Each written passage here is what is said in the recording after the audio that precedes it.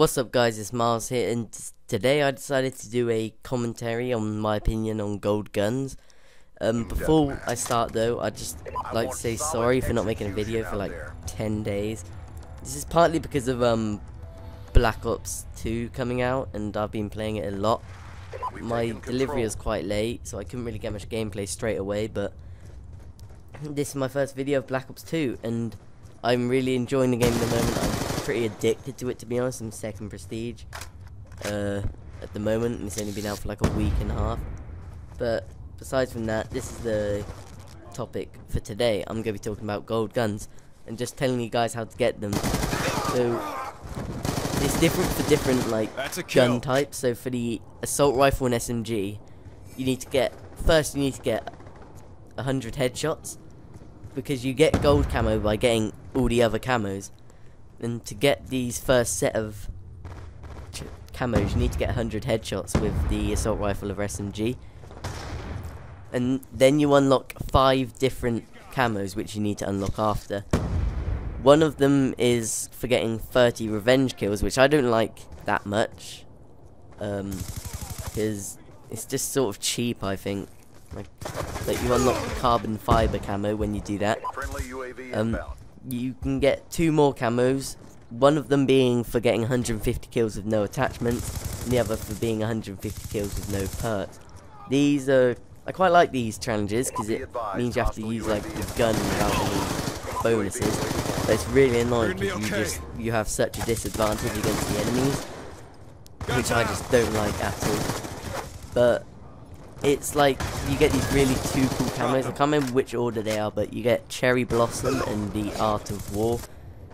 Both quite cool camos.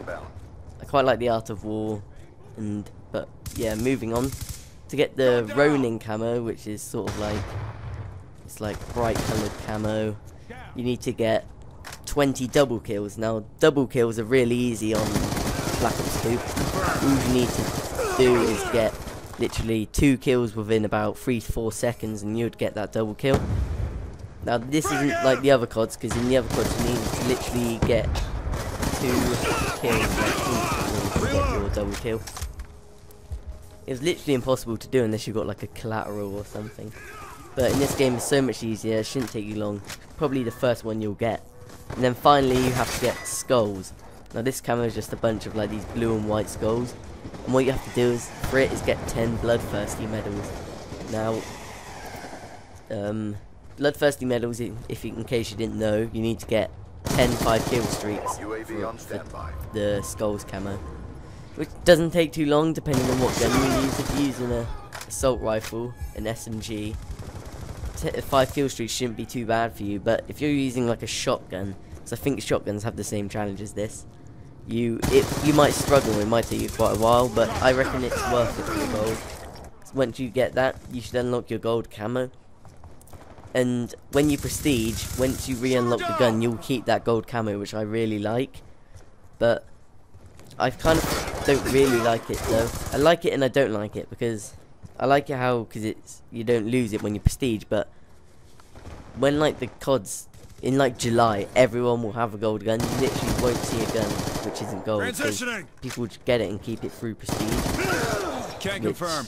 Mm, sort of annoying because it makes them too main, like too, too common. But the gold camo does take about nine hours roughly to get. So it's sort of a challenge, harder than Modern Warfare 3. Drop them. Not as hard as COD 4 because that was pretty hard to be honest.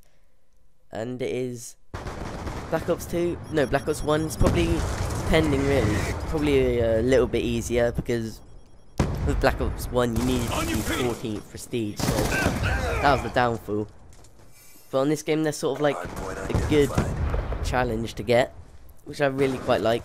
And as you'll see on this gameplay I'm using the gold MSMC, and I've, the challenges getting gold cameras will be different on different types of guns. For example, on snipers, I think you need like instead of headshots, you need one shot, one kills, which is mm, not really sure about. Same as with shotguns. But anyway, guys, that was a guide on how to get a gold SMG and assault rifle. Hope you enjoyed the commentary, and peace out. But make sure you comment on what you think of the gold guns. I'd really like to know your guys' opinions, and I'll see you later.